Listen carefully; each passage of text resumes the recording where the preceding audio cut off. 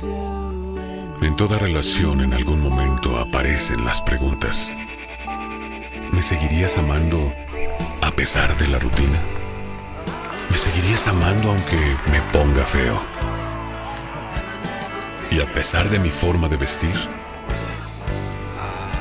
¿Me seguirías amando aunque te avergüence?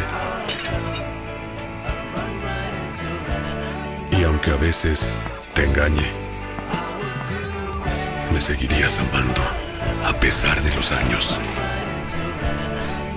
Me seguirías amando aunque a veces piense en abandonarte. Porque yo cada día te amo más. En el deporte también existe el amor incondicional. iPower para tu amor al deporte. Powerade. Guillermo, otra victoria, están invictos. ¿Cómo evaluás el partido? Bueno, sí, la verdad que es una alegría muy grande. Seguimos con la racha de invicto. El partido fue un partido muy duro, un partido largo.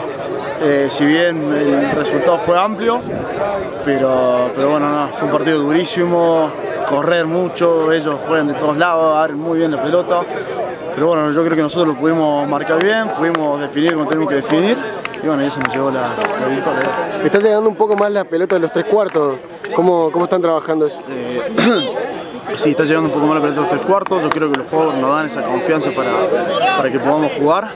Eh, bueno, y partido a partido creo que hemos ido mejorando, hemos podido marcar, jugar bien, defender bien.